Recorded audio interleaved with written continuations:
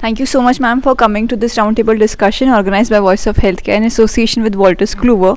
My question to you is uh, How would you assess the current infrastructure for supporting clinician led research within teaching hospitals? Hello. Yeah. So, you know, first of all, I'd like to thank Voice of Health for uh, organizing such a wonderful uh, uh, roundtable conference and uh, wonderful interactions which happened uh, throughout uh, the two-hour session.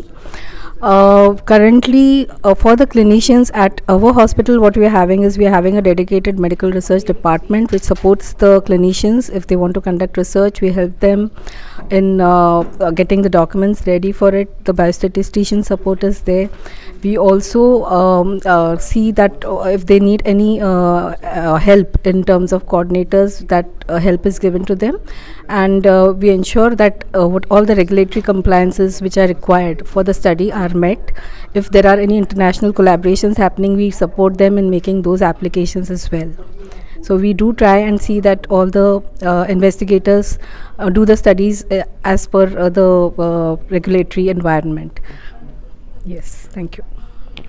That's great, ma'am, and thank you so much for sharing your opinion with us, and thank you so much for coming to this medical education and research uh, roundtable conference. Thank you. Thank you.